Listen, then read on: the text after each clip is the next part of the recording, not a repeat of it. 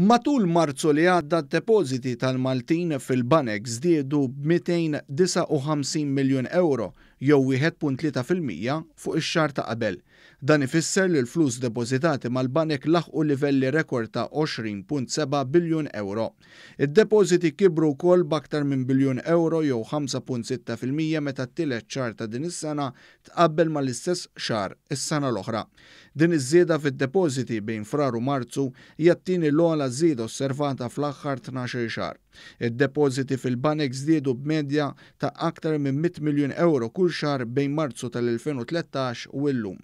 Bejn l-2008 u l-2013, id-depożiti mal-banek żdiedu b'ħames darbiet anqas miż-żieda osservata bejn Frar u Marzu li għadda. Iż-żieda li kien hemm fl-ewwel xahar wara l-bidu tal-pandemija kienet dovuta għal tkabbir fid-depożiti tal-familji Maltin u Għawdxin.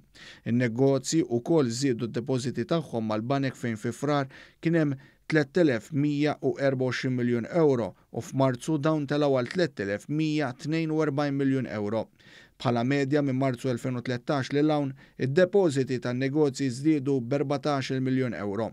Fejn idħlu kumpaniji tal-Gvern id-depożiti mal-banek żdiedu wkoll fejn fi Frar kien hemm 539 miljun ewro għal 554 miljun ewro. Min-naħa l-oħra ġie rreġistrat tnaqqis t'għaxar miljun ewro fid-depożiti tal-istituzzjonijiet finanzjarji. Dan ġie mis-self mogħti lin-negozju u l-familji minħabba l-pandemija. B'hekk f'Marzu l-ammont totali ta' self mill-banek kien illaħħaq il-ħdax punt tnejn biljun ewro filwaqt li d-depożiti kienu ta' 20.7 biljun ewro. B'hekk, il-livell ta' likwidità huwa wieħed għoli ferm hekk kif il-familji u n-negozji għandhom flus kważi d-doppju tad-dejn li ħarġulhom il-banek.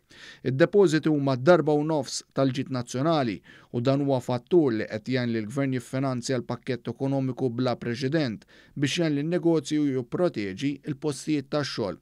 Fil-fatt, flus imfaddla fil-banek hemm dħul tat-turiżmu tas-sena l-oħra